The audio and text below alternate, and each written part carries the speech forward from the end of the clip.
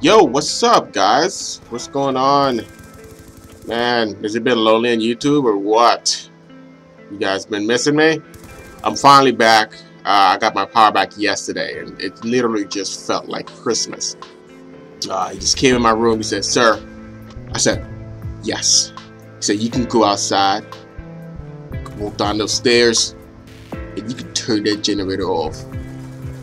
I was like, "Why? Why should I even do that?" You see, I'm kind of doing something. I'm charging my phone, uh, you know, and shit like that. Like, sir, we're gonna put your lights on. What? I jumped up, high fived them. They had to jump that high, but uh, I jumped up, I high fived them. I'm like, yes, let's do this. And I, I ran outside. I didn't walk. I didn't like walking.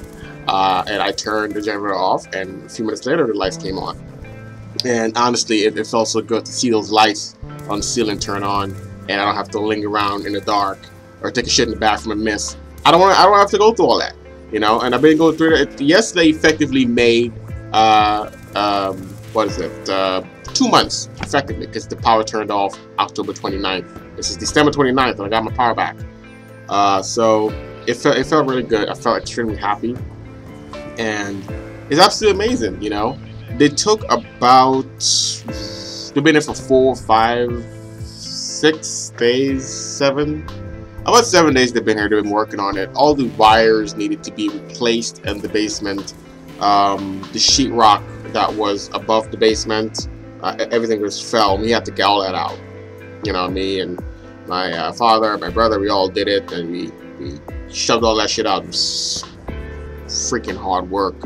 Um, a lot of work. A lot of that shit had to go out. Maybe we had like about 20 bags in front of the street. And this truck had to come and pick everything up.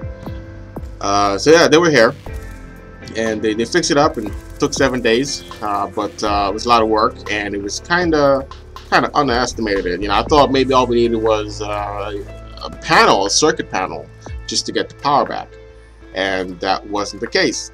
They had to come, cut all the walls. It came, the, the demolition team came, they cut the walls two feet up, and the reason why I cut it two feet up because the water came in and it was about one feet on the first floor. Okay, I don't live like on the ground. You just walk into the uh, my apartment into it's not an apartment, it's house. You, you, walk into my house. You just don't walk straight in from street level. You don't walk right to my house. So it's not street level. You have to walk up about five stairs, five steps, and then from there you're in my house, right? So the water came up into the first floor about one feet up. So you have to cut two feet.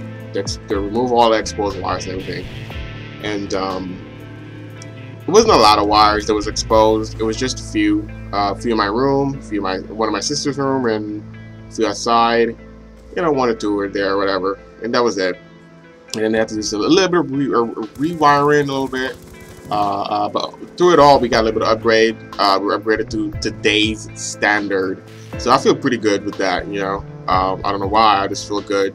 At least the house is not gonna burn down. Because if I, if we had uh, got the electrician to come out and actually do that, I don't know if he would have uh, changed all the wirings in the basement and all that stuff and on the first floor. He, I don't think he would have done that. You know, he didn't seem. I, I called the guy. Like we, we got, we're looking for people to see if they can come and do this thing. You know, it, it would have cost money, pretty penny.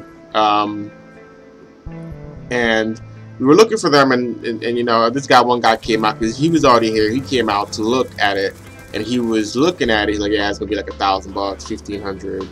Uh, you know, he's like, you know, you gotta fix the one outside. There's the, the meter reader outside. I say you gotta get those uh, fixed too. That's like uh, another thousand dollars.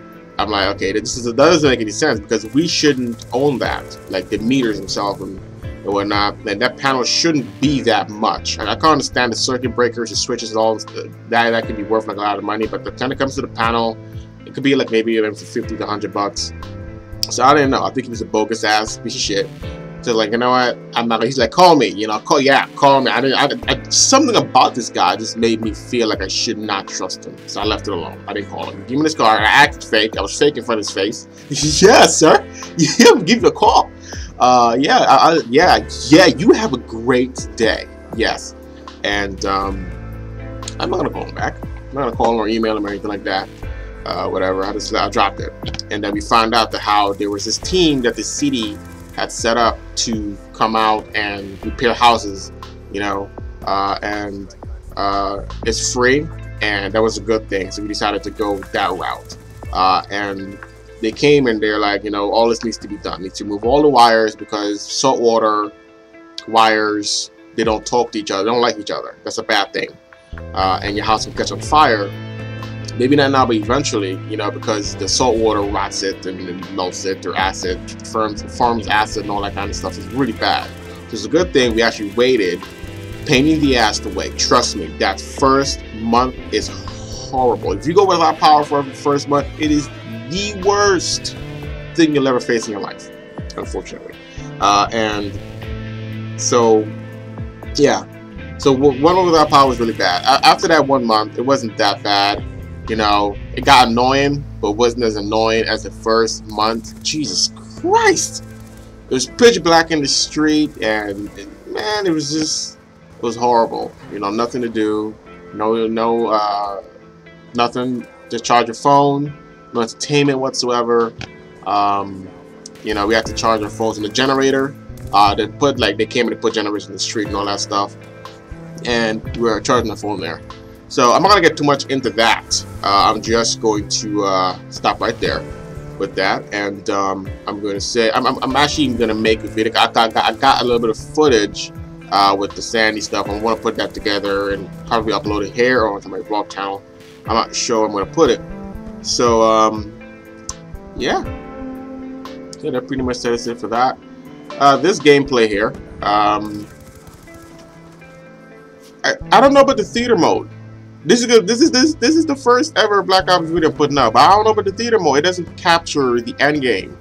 Um, like when you win, you get the last shots. It doesn't show that shit. Like, why would you? I I, I remember if Call of Duty uh, Modern Warfare 3 did it. I never really recorded games that way. I decided to just try out theater mode a little bit, so it work with me.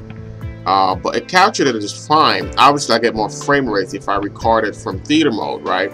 Uh, but it's just that, man, it, it just it doesn't allow me like when I get that both times in this game uh, I got uh, the end kill. I got the um, the final kills in both uh, rounds.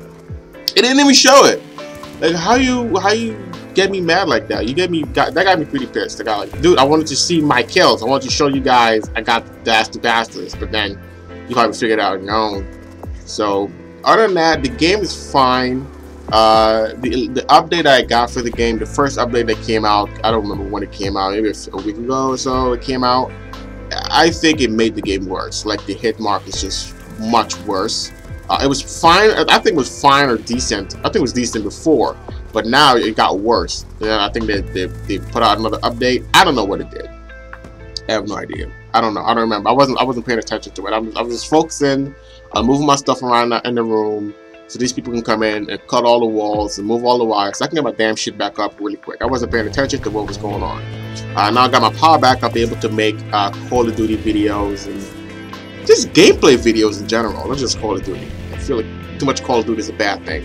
Uh, so just uh, you know making the last games in general and uh, maybe a few games a week or maybe even more. So thank you guys for watching. I hope you guys have a had a great Christmas and happy holidays. Fun stuff. Alright, peace.